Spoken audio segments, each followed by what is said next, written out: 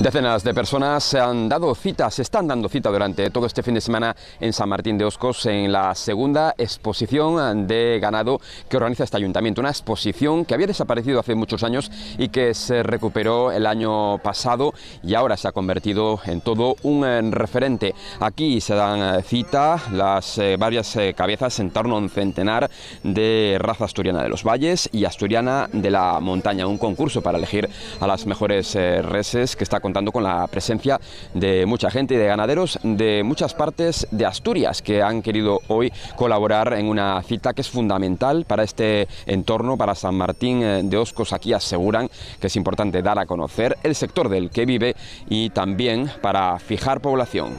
Aquí es un sitio ganadero por excelencia, además se cuida mucho la raza y y entonces si en algún sitio tiene que haber una exposición de este tipo, pues es aquí. Que son animales que están aprovechando el pasto, que es lo que nos interesa en estas zonas y bueno, pues eh, valorarlo positivamente y que sirva para eso, para fijar población aquí, para tener una actividad ganadera importante. Para dar a conocer la raza, para dar a conocer que los oscos también existen y, que hay buenas ganaderías y buenos terneros aquí de carne.